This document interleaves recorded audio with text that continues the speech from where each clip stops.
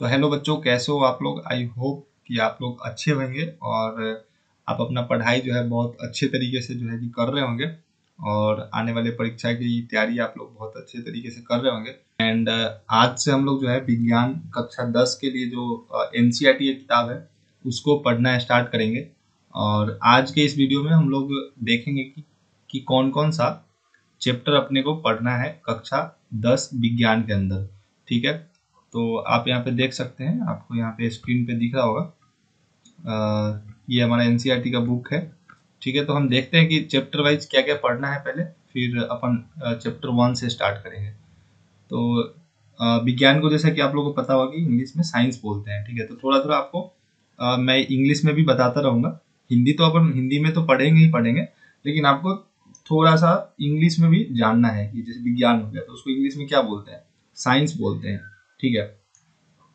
अब मैं जैसे थोड़ा सा आपको बताना चाहूँगा कई बच्चों को टेंथ में तो चले आते हैं लेकिन कई बच्चों को जैसे विज्ञान के अंदर मोस्टली तीन पार्ट होता है।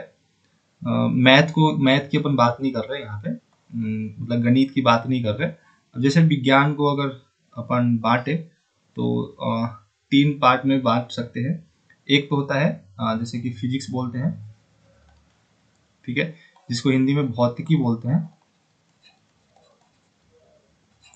ठीक है? और दूसरा होता है केमिस्ट्री रसायन शास्त्र बोलते हैं। ठीक है? और एक होता है बायोलॉजी ठीक है? जिसको अपन हिंदी में जीव विज्ञान बोलते हैं। ठीक है? तो अभी जैसे दसवा और नौवा के अंदर हमें जो है इन तीनों को एक साथ ही पढ़ना है। भौतिकी, रसायन शास्त्र और जीव विज्ञान को एक साथ ही पढ़ना है, जिसको अपन यहाँ पे हम लोग विज्ञान बोलते हैं। ठीक है? लेकिन जो दसवा का बुक है या फिर नौवा का जो बुक रहा होगा आपके पास, उसके अंदर ये फिजिक्स का मतलब भौतिकी का अलग से होता है पार्ट और रसायन शास्त्र का अलग से पार्ट होता है और जीव विज्ञान का अलग से पार्ट होता है। बुक एक ही होता है, लेकिन अलग अलग उसमें होता है। जैसे कि मैं बताऊँ, जैसे फिजिक्स मतलब भौतिकी के अंदर आपने मापन पढ़ा होगा। ठीक है? फिर उसके बाद गति और मोशन, गति और बल पढ़ा होगा आपने कुछ ऐसे करके। मतलब मोशन एंड फोर्स उसके बाद फिर ध्वनि पढ़ा होगा, ठीक है? ध्वनि पढ़ा होगा आपने, उष्मा पढ़ा होगा तो ये सारी चीज़ें जो भौतिकी के अंदर आता है, ठीक है? उसी तरीके से आपने एटम के बारे में मतलब परमाणु के बारे में पढ़ा होगा, अणु के बारे में पढ़ा होगा एलिमेंट्स मतलब तत्व के बारे में पढ़ा होगा आपने रासायनिक अभिक्रिया के बारे में पढ़ा होगा तो वो सारी चीज़ें जो है रसायन शास्त्र के अंदर पढ़ा जाता है, ठीक है? फिर उसी तरह से आपने मनुष्य बॉडी के बारे में मतलब जो मानव शरीर के बारे में पढ़ा होगा, आपने पेड़ पौधे के बारे में पढ़ा होगा उसके आपने डिटेल स्टडी करा होगा तो सारी चीज़ें जो है जीव विज्ञान के अंदर आता है, ठीक है? तो अभी और भी अपन डिटेल में पढ़ेंगे जीव विज्ञान को केमिस्ट्री को मतलब रसायन शास्त्र को और भौतिकी को। तो इस, इन तीनों को जो है विज्ञान बोलते हैं और एक मैथ्स जो है, अलग से होता है। तो इसको भी अपन विज्ञान के अंदर ही साइंस के अंदर ही लेते हैं, लेकिन ये अलग सब्जेक्ट है। लेकिन दसवा लेवल पे ये तीनों चीज़ें जो है, एक ही बुक के अंदर मिलेगा, जो कि एनसीआरटी बुक है। और नोवा में भी आपको यही चीज़ें मिला होगा। लेकिन जैसे आप इलेवेंथ में जाओगे ट्वेल्थ में जाओगे तो वहाँ पे ये जो विज्ञान है, वो इस तरीके से बढ़ जाता है बायोलॉजी मतलब जीव विज्ञान के अंदर केमिस्ट्री मतलब एक अलग सब्जेक्ट हो जाएगा आपको। मतलब बायोलॉजी एक अलग सब्जेक्ट होगा केमिस्ट्री एक अलग सब्जेक्ट होगा, और फिजिक्स मतलब भौतिकी जो है, एक अलग सब्जेक्ट होगा। तो ये अलग अलग सब्जेक्ट में मतलब विषय में अलग अलग बढ़ जाएगा, ठीक है? लेकिन अभी आपको एक साथ ही पढ़ना है। तो मेरे ख्याल से, अभी जो बच्चे नहीं जान रहे थे कि विज्ञान के अंदर ये सारी चीज़ें होती है अब और भी बहुत सारी चीज़ें होती है, लेकिन जो आपको पढ़ना है, वो इतना ही पढ़ना है, ठीक है, अभी तक। और इलेवेंथ ट्वेल्थ तक। मतलब इलेवेंथ और ट्वेल्थ में, ग्यारहवीं और बारहवीं में भी यही मोस्टली पढ़ते हैं लोग। बाकी तो बहुत सारी चीज़ें हैं कंप्यूटर साइंस है एग्रीकल्चर है टेक्सटाइल में बहुत सारी चीज़ें हैं। आप उसको जो है, हर एक चीज़ को नहीं पढ़ सकते, ठीक है। और मोस्टली लोग यही पढ़ते हैं बायोलॉजी केमिस्ट्री फिजिक्स और मैथ्स ठीक है। कभी कभी लोग लोग जो है कंप्यूटर साइंस ले लेते हैं तो अलग चीज़ें हैं। लेकिन मोस्टली यही पढ़ते हैं। ठीक है तो आपको थोड़ा सा क्लियर हुआ होगा कि मैं क्या बोलना चाह रहा हूँ। तो अभी अपन इन तीनों को बायोलॉजी फिजिक्स और केमिस्ट्री को एक ही किताब के अंदर, जो कि विज्ञान का किताब है, उसी के अंदर पढ़ेंगे। ठीक है तो अभी देखते हैं अपन की मतलब कितने चैप्टर कितने लेसन है विज्ञान के अंदर अपने को पढ़ना है दसवा में। तो पहला जो चैप्टर है विज्ञान के अंदर, वो पढ़ना है अपना रासायनिक अभिक्रिया एवं समीकरण। बहुत ही शानदार चैप्टर है, बहुत अच्छा चैप्टर है, बहुत मज़ा आता है इसमें। कभी कभी हो सकता है कि आपको थोड़ा बहुत इसमें याद करना पड़े लेकिन मैं बहुत अच्छे से पढ़ाऊँगा। और आप अगर ध्यान से पढ़ते हैं तो आपको परेशानी नहीं होना चाहिए ठीक है? आ, इसमें बच्चे को परेशानी होता है लेकिन नहीं होना चाहिए परेशानी। जिस तरीके से मैं पढ़ाऊँगा जो चीज़ बताऊँगा आपको अब उसको फॉलो करते चलना तो आपको परेशानी नहीं होगा ठीक है? तो पहला जो है रासायनिक अभिक्रिया एवं समीकरण। इसके अंदर क्या है कि बहुत सारे रासायनिक अभिक्रिया के बारे में बात करेंगे जैसे आ, किसी भी चीज़ को जलाना तो वहाँ पे क्या हो रहा है? रासायनिक अभिक्रिया हो रहा है। दूध जो है दही बन जाता है तो रासायनिक अभिक्रिया हो रहा है। आपका खाना का पकना मतलब भोजन का पकना तो क्या रासायनिक अभिक्रिया हो रहा है? तो वो क्या होता है, उसको अपन जो है समीकरण के फॉर्म में, समीकरण के समीकरण में कैसे लिखते हैं उसको, उसके बारे में जो है यहाँ पे अपन थोड़ा सा डिस्कस करेंगे इसमें। इसका नाम ही आप देख रहे होंगे, रासायनिक अभिक्रिया एवं समीकरण, ठीक है? तो रासायनिक अभिक्रिया क्या होता है? रासायनिक समीकरण क्या होता है? उसको बैलेंस कैसे करते हैं रासायनिक अभिक्रिया को? ठीक है? उन सारी चीज़ों के बारे में यहाँ पे देखेंगे। और बहुत आसान चैप्टर है आप इसको ध्यान से पढ़िएगा तो, तो दिक्कत नहीं होगा। ठीक है? और ये जो है केमिस्ट्री के अंदर आता है मतलब जो पहला जो है अभी अध्याय एक से लेकर के मेरे ख्याल से पाँच पाँच तक जो है रसायन विज्ञान में होगा। ठीक है? रसायन शास्त्र के अंदर होगा। एक मिनट वेट कीजिएगा। छठा नंबर चैप्टर हम्म, ये रहा। तो छठा नंबर यहाँ पे रखते हैं। तो मतलब एक से लेकर के जो पाँच तक चैप्टर है ना एनसीआरटी के अंदर वो आपको रसायन शास्त्र होगा। ठीक है? रसायन शास्त्र। थोड़ा आप हिंदी में मुझे कमज़ोर पाएँगे लेकिन कोई बात नहीं मैं चीज़ों को समझा दूँगा। आ, ये हिंदी और ये जो है सोशल साइंस नहीं है कि आपको उतना ज़्यादा इस पर फोकस करना है। आपको समझना है चीज़ों को कि विज्ञान में है क्या? विज्ञान के चीज़ों को टर्म्स को मतलब समझना है आपको ठीक है? जैसे गणित में गणित में भाषा का कोई भूमिका नहीं होता है। उसी तरीके से विज्ञान में भी भाषा को का ज़्यादा भूमिका नहीं है। अगर आप विज्ञान को समझते हो तो विज्ञान एक खुद में भाषा है ठीक है? आपको यहाँ पे समझना होता है चीज़ों को कि आस, आपके आसपास आपके इन्वायरमेंट में आपके आसपास हो क्या रहा है। उसी को समझ लेते तो उसी को अपन विज्ञान बोलते हैं। ठीक है? तो यहाँ पे चैप्टर एक में हमने देखना है रासायनिक अभिक्रिया एवं समीकरण क्या है। चैप्टर दूसरा, इसके अंदर हमें पढ़ना है अम्ल, क्षार एवं लवण, ठीक है? और काफ़ी इंटरेस्टिंग है। जैसे आपने नींबू खाया होगा तो खट्टा होता है तो किसकी वजह से होता है? ये अम्ल, अम्लीय होता है, ठीक है? जैसे आपने नमक देखा होगा तो वो क्षार होता है। मतलब इस तरीके से लवन अब इसमें थोड़ा डिटेल में अपन जो पढ़ेंगे, नींबू, सिरका वगैरह के बारे में बेकिंग सोडा ये सब के बारे में थोड़ा सा डिटेल में पढ़ेंगे। तो ये अध्याय टू के अंदर है और ये रसायन शास्त्र के अंदर ही आता है। चैप्टर थ्री धातु एवं अधातु, ये भी बहुत अच्छा चैप्टर है। इसके अंदर जैसे आपने लोहा देखा होगा, आपने कॉपर देखा होगा, आपने एल्यूमिनियम देखा होगा, आपने सोना, चांदी, ये सारी चीज़ें क्या धातु, अधातु के अंदर अपने को पढ़ना है। और इसके मतलब गुण, धर्म, ये सब क्या है प्रॉपर्टीज़ वगैरह क्या है, उसके बारे में इसके अंदर हमें पढ़ने को मिलेगा। धातु और धातु के अंदर, ठीक है? ये चैप्टर थर्ड था, अध्याय तीन। फिर चैप्टर फोर अध्याय चार, इसके अंदर हमें बहुत सावधानी से पढ़ना होगा, क्योंकि ये बहुत जो है महत्वपूर्ण चैप्टर है। आपको ये आगे भी आगे क्लास में जो इलेवेंथ ट्वेल्थ में भी अगर आप केमिस्ट्री लेते हैं तो वहाँ पे आपको यहाँ ये पढ़ने को मिलेगा। कार्बन एवं उनके यौगिक, ठीक है? अब जैसे मीथेन गैस हो गया, इथेन गैस हो गया, ठीक है? ये सारी चीज़ें जो है इसके अंदर पढ़ना है। कार्बन के बारे में या फिर डायमंड के बारे में मतलब इन सभी चीज़ों के बारे में, उनके नामाकरण के बारे में, किस तरीके से उसको अपन नाम रखते हैं किसी भी चीज़ को, इथेन, प्रोपेन, ये सब चीज़ को कैसे अपन बोलते हैं और कैसे नाम रखते हैं, इसके अंदर आप जो है, पढ़ेंगे। कार्बन और उनके जो यौगिक है, उसके बारे में इसके अंदर पढ़ेंगे तो डिटेल में पढ़ेंगे, मैं जस्ट ऊपर ऊपर से बता रहा हूँ कि क्या क्या पढ़ना है, ठीक है? तो ये अध्याय चार के अंदर आपको पढ़ने को मिलेगा। और ये भी जो है रसायन शास्त्र के अंदर ही आता है। और फिर चैप्टर पाँच, अध्याय पाँच, इसके अंदर आपको तत्वों एवं आवर्त वर्गीकरण, ये बहुत ही अच्छा चैप्टर है, बहुत ही इंपॉर्टेंट चैप्टर है। जब आप आगे पढ़ेंगे तो ये भी जो है, ये चैप्टर भी आपको इलेवेंथ और ट्वेल्थ में देखने को मिलेगा। इसके अंदर हमें जो है आवर्त सारणी के अलग अलग जो वैज्ञानिक थे, उन्होंने अपने तरीके से अलग अलग एलिमेंट्स को, तत्वों को अलग अलग तरीके से सजाया। तो उसी के बारे में जो है थोड़ा डिटेल में पढ़ना पढ़ना है। तो जैसे कि आधुनिक आवर्त सारणी के बारे में पढ़ना है, ये देखिए, ये जो है आधुनिक आवर्त सारणी है, जो तत्व है, उनको किस तरीके से सजाया गया है, और इसको कैसे याद करते हैं, इसमें क्या क्या चीज़ें हैं, इसके बारे में आपको जो है पढ़ना है। जैसे hydrogen, helium, lithium boron, carbon, nitrogen, oxygen, fluorine neon sodium, magnesium, इस तरीके से जो है, किस तरीके से, कैसे और क्या है ये चीज़ें इसमें, कैसे रखा गया है, ये एलिमेंट यहाँ पे क्यों आ रहा है, यहाँ पे क्यों आ रहा है मतलब सारी चीज़ों के बारे में हम लोग जो है इसमें डिस्कस करेंगे, इसमें जो है बात करेंगे। और ये बहुत इंपॉर्टेंट चैप्टर है और लोगों को थोड़ा हार्ड भी लगता है, लेकिन आपको कोई बात नहीं, मैं थोड़ा अच्छे तरीके से पढ़ाऊँगा, आप ध्यान से पढ़ना तो सारी चीज़ें हो जाएगा। मतलब आपको मैंने बता दिया कि एक से लेकर के पाँच, अध्याय एक से लेकर के पाँच तक कौन सा है? अध्याय एक से लेकर के पाँच तक जो है रसायन शास्त्र, ठीक है? रसायन। यहाँ पे कट रहा है। मैं थोड़ा इसको बड़ा करता हूँ। अध्याय एक से लेकर के पाँच तक जो है आपको क्या पढ़ना है? रसायन शास्त्र। ठीक है? मतलब केमिस्ट्री इसको इंग्लिश में बोलते हैं हम लोग। C H E M I S T R Y chemistry नहीं बोलिएगा केमिस्ट्री ठीक है? केमिस्ट्री ठीक है?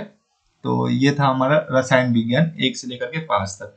फिर जैसे ही आप छठे चैप्टर में जाइएगा तो वहाँ पे आपको मिलेगा जैव पराक्रम, ठीक है? और ये जो है बायोलॉजी के अंदर आता है, पहला चैप्टर मैंने ज़्यादा बायोलॉजी पढ़ा नहीं है तो मुझे इसके बारे में ज़्यादा पता नहीं है बट जब अपन पढ़ेंगे इसको, ठीक है तो वहाँ पे जो है डिस्कस करेंगे। अब ये जैविक मतलब सजीव और अजीब सॉरी निर्जीव वस्तु के बारे में इसके अंदर जो है अच्छे तरीके से आपको पढ़ने को मिला होगा।